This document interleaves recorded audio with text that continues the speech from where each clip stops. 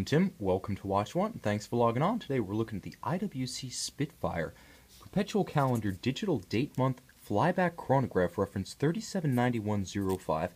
You can see this IWC Spitfire Perpetual on our website watchuwant.com. Purchase it there if you like. And if you enjoy these videos, please subscribe to our YouTube channel, Watch You Want Inc. Now you can see on my wrist, six and a third inches 16 centimeters in circumference. This is the definition of an oversized sports watch. As a pilot's watch, you have to call this one a jumbo jet. 57 millimeters from extremity of lug to extremity of lug, 46 millimeters across the round portion of the case, diagonally opposed, and a burly 18 millimeters thick. This is not one to slip under a dress cuff or any kind of long sleeve, short of some sort of a flight suit. But the bottom line is, with a watch that has this much presence, detail, and charisma, you want it to be seen, not hiding under a cuff. Now, the ergonomic equation here is a little bit perplexing. On a small wrist like mine, I can wear it comfortably. Granted, it has the heft in gold of a watch with an original retail price of $49,900. It feels like the luxury watch you imagine in your dreams. It has a lot of pull. And although it looks huge, I want to add that it fits well. Like this would be secure on my wrist if buckled down. Ultimately, whether this watch is for you comes down to whether or not you're comfortable with the idea of a truly oversized presence on your wrist. If you like a giant watch, either because you've got a huge wrist and you can't get enough size, or because you like the look of a bolder, more insistent case. If you like the modern Audemars Piguet Royal Oak Offshore 44, the Hublot Big Bangs, and the King Powers in 48 millimeters, this is your watch, albeit with a pedigree to put any Hublot to shame. Now, first and foremost, I want to call attention to the digital date month function. What you're looking at is a perpetual calendar, IWC's traditional Kurt Klaus perpetual calendar system, but rejigged for a different kind of portrayal of time. This one harks back to the 19th century IWC Pallweber calibers that would display time in apertures using jumping hours, minutes, and such. During the 19th century, today we have a perpetual calendar Unlike the traditional IWC Kurt Klaus Perpetual, which features a moon phase, which features the day, date, month, and the year, this one features a discrete leap year at 6 o'clock, and then a date and a month, really giving you the most pertinent information.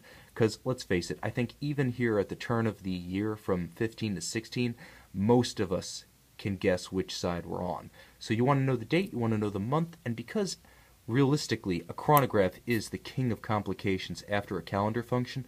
IWC gives you a great one. Now you can reset this in-house tri-register chronograph conventionally like I just did. It is a vertical clutch system for a smooth coupling, no jump at the start, no stagger when you stop, always resets precisely, and it is a column wheel movement, so you have that crisp pusher function. The tactile, the auditory sensation, the sound, the click, the snap of it is very pleasing. What sets this one apart is that not only is it a tri-register chronograph, but it's also a flyback. So you can stop, reset, restart in true aviator watch fashion without having to engage more than one pusher. The one-touch reset and restart, the hallmark of a flyback, makes this one even a little bit more useful than a conventional chronograph. And with this ardoise sort of metallic gray sunburst motif, the Lancet white seconds hand of the chronograph really jumps out at you. So this one's very good if you want to use it for practical purposes because it's one of those single glance watches.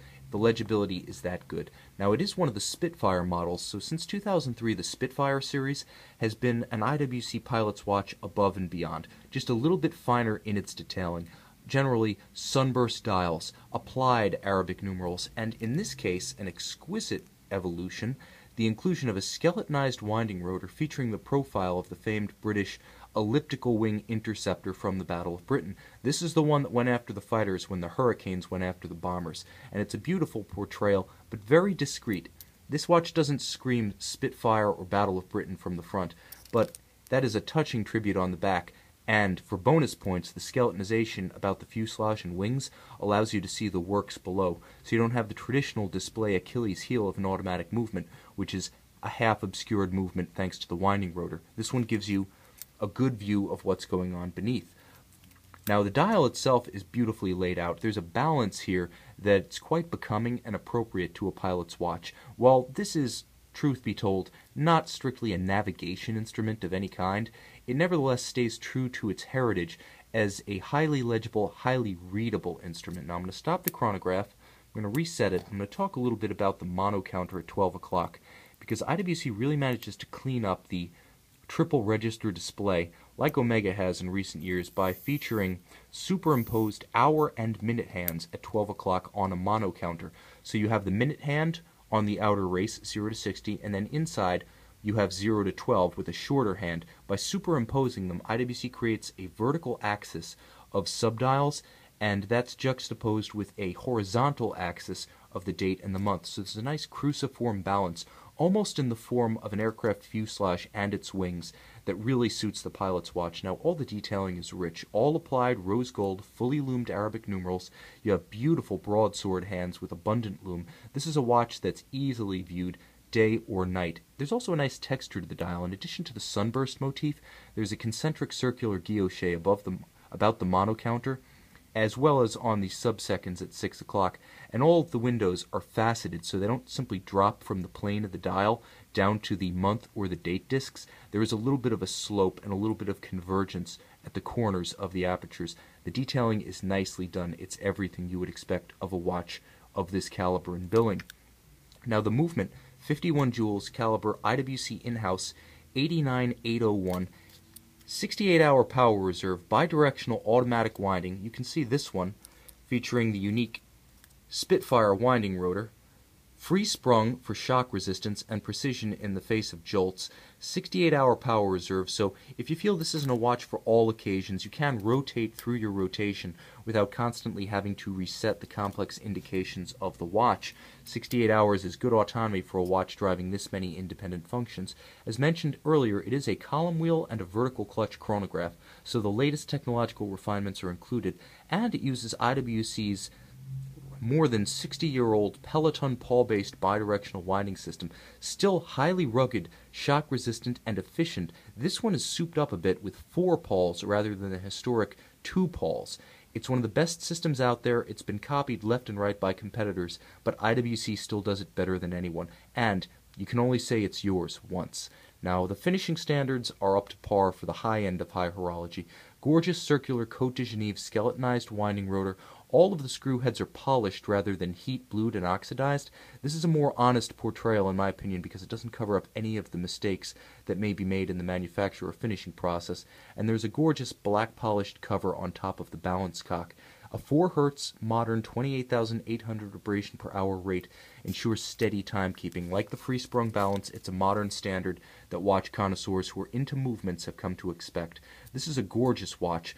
It's a lot of watch, aesthetically and in terms of the engineering inside, with a wonderful flyback chronograph featuring that mono counter. You can see the superimposed hands separating. You've got a chronograph for daily use. You've got a date to which you can refer daily. A very practical watch. While some might call it ostentatious, some might call it over the top, others, in, well, the aviation parlance, may call this one first class or a high flyer, and it's certainly that. You can see this IWC Spitfire digital date month perpetual calendar flyback chronograph and purchase it if you like on our website watchuwant.com.